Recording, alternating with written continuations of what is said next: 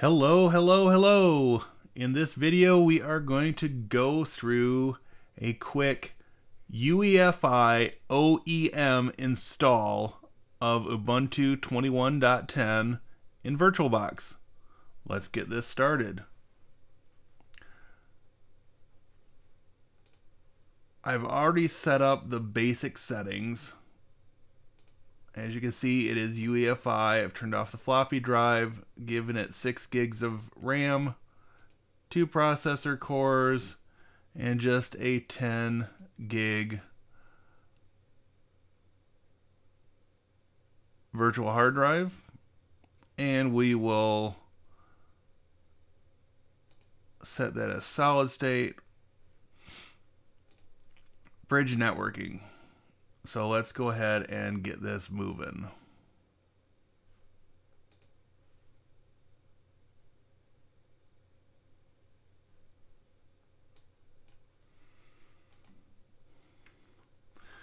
Okay, so we just choose OEM install, which is the third option.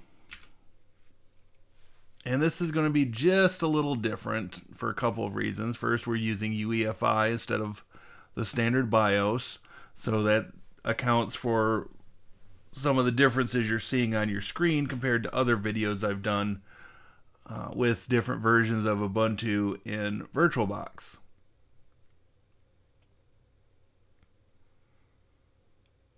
The questions that are going to be asked during this OEM install are also a little different.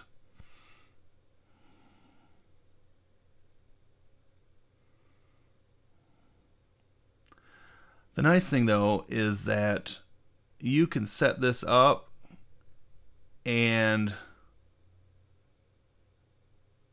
deploy it out to many different kinds of machines. And this is great if you are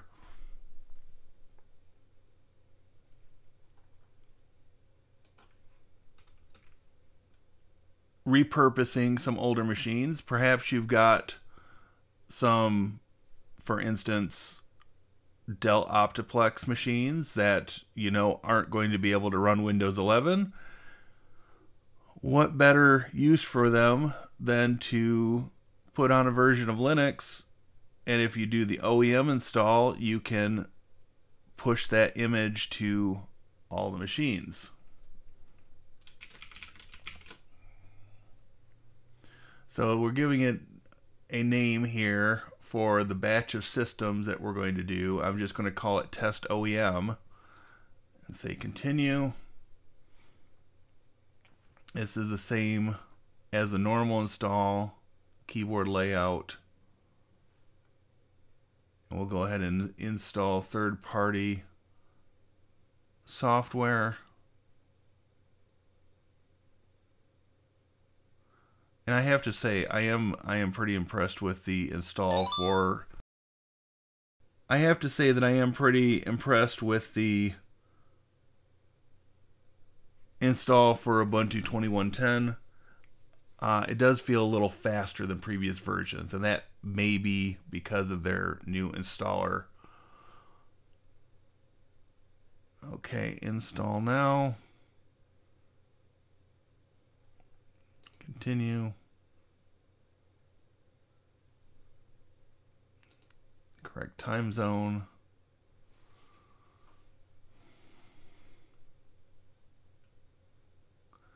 Okay, so as you can see, it's giving a temporary user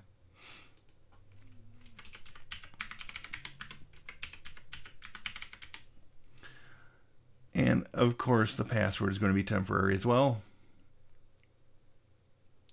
I may experiment doing this in the future with Active Directory and joining it to Zentyal uh, because then every machine that this image would get deployed to would be joined to that Zentyal domain, which could be an interesting experiment.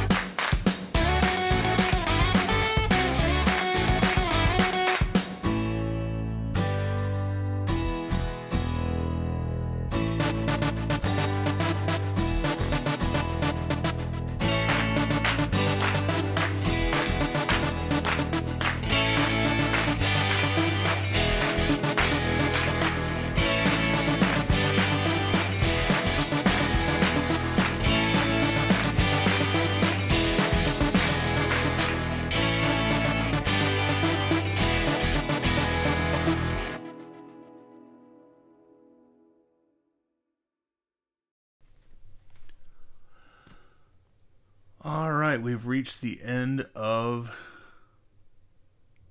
the install. We are going to do a restart.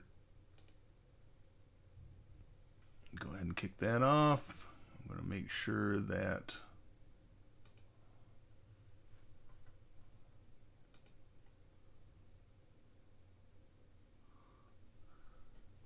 uh, let's see.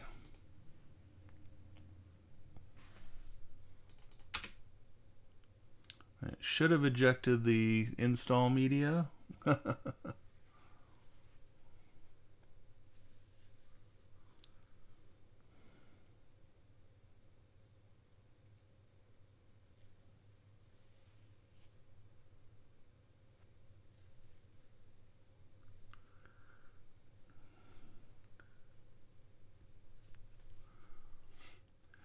All right, so you can think of this environment that we're in right now as being something similar to what you would be using when prepping a Windows system for sysprep. So you can do installation of software, you can do updates and other customizations. Uh, some of them will stick. Uh, some of the customizations will not be saved. So I I have never had the the documentation for this, so I've just kind of I, I've learned this on my own through trial and error. Uh, if I were going to do this on a large number of systems, I would absolutely be looking at the documentation and coming up with a repeatable process so that when I had to update the image, I could match what I used uh, the first time around or improve the process. Okay, so we are going to go ahead and do these updates. And there shouldn't be much in the line of updates, but we'll humor it and let it do its thing.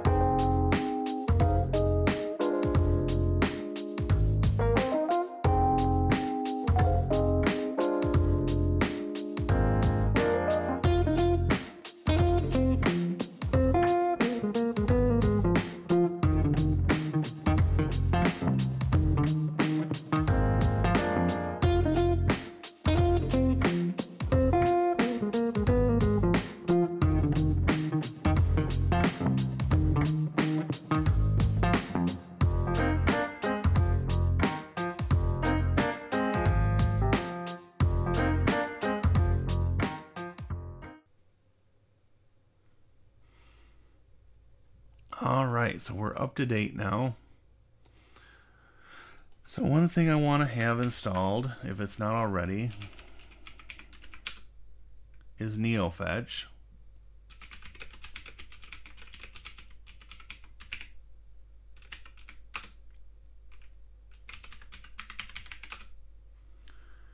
And this should be pretty quick to install. And we might go into the Ubuntu App Store and look for one or two items there and install those and then we can go ahead and prep our VM to be cloned and we can see the equivalent of the out-of-box experience uh, for Windows. So let's uh, jump into the store here real quick. This may take a minute to populate.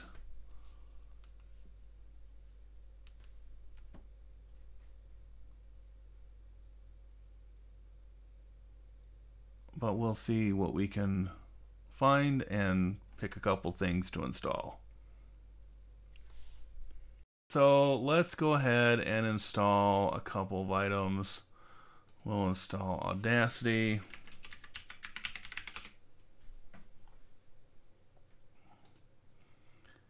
And I don't know, let's come down to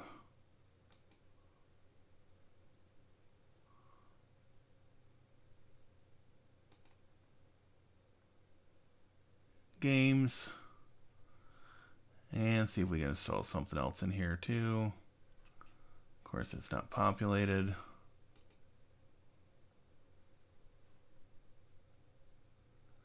So the moral of the story is this app store, although slightly revamped, is a little bit slow on first use. So we'll install Darktable as well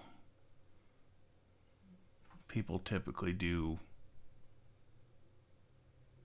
photo editing on computers.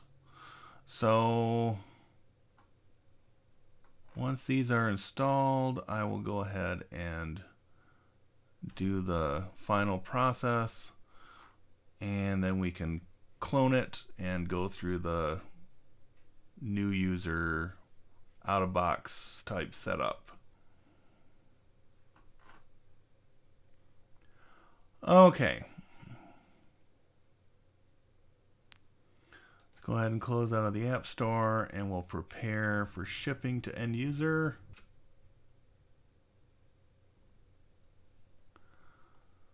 Okay, the OEM config will run the next time the system boots. Alright, so from here, we shut down.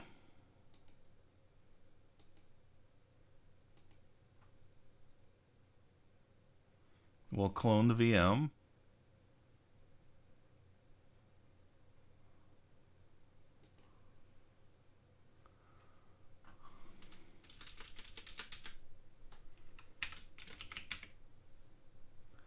All right, we'll just call it Ubuntu 2010 OEM test. Continue. It's going to be a full clone.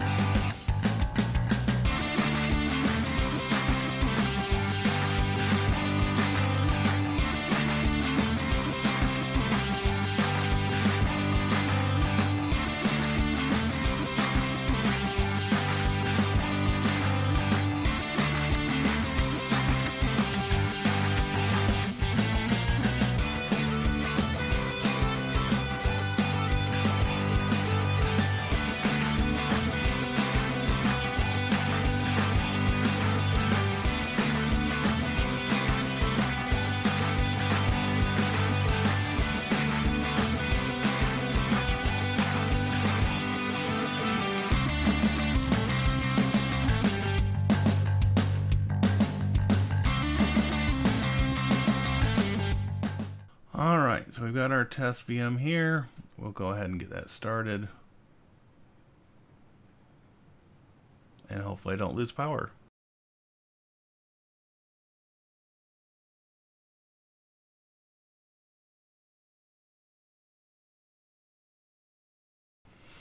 Okay, so basically this is what you would see with a brand new machine running Ubuntu.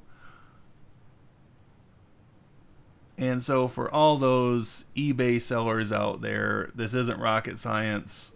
If you're selling a machine on eBay with a hard drive and you're not including Windows, throw Ubuntu on here, do the OEM install, and give the user a new computer experience. English, New York time zone.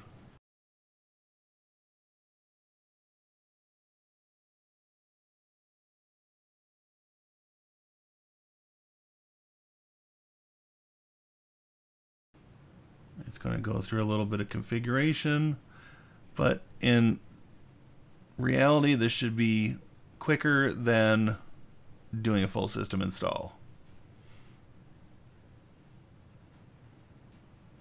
In practice, we'll see what happens.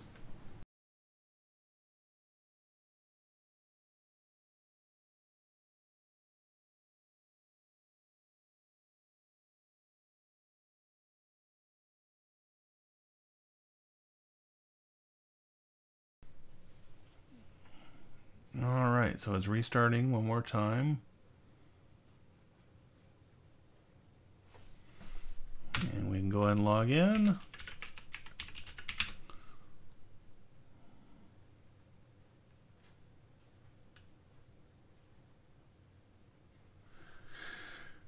And it prompts us for the little first start wizard, which we're just going to go ahead and click through this.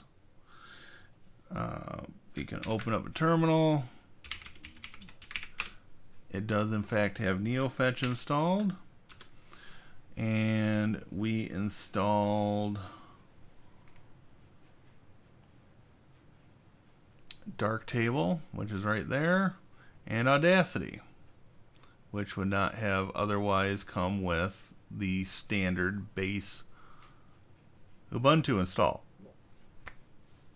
So we have a working image. I'm going to go ahead and shut this down. There are a couple things that I'm going to do in upcoming videos. First, I'll export this test VM since it's UEFI and I will import it into Proxmox and verify that it works. Second, I will be capturing an image using RescueZilla from the 2110 OEM VM and I will use that to deploy that image to a another machine. Now, I am in fact intending to test this with a physical machine and it should work just fine for a number of reasons. Um, one, because Linux redetects hardware very well, and two, because you know that's the way a lot of people build their universal Windows images, anyways. They install it on a virtual machine first, where they've got the snapshotting capabilities and all that at their disposal, and then they deploy to real hardware. And this generally speeds up the process. So that will do it for this video. If you've got something out of this and made it to the end of this video, thank you. If you are not subscribed, please go down below, like and subscribe, and feel free to share this video with your friends or coworkers or anyone you know that might find it of interest or value. And on that note, again, thanks for watching. Stay safe out there, and I'll see you in the next video.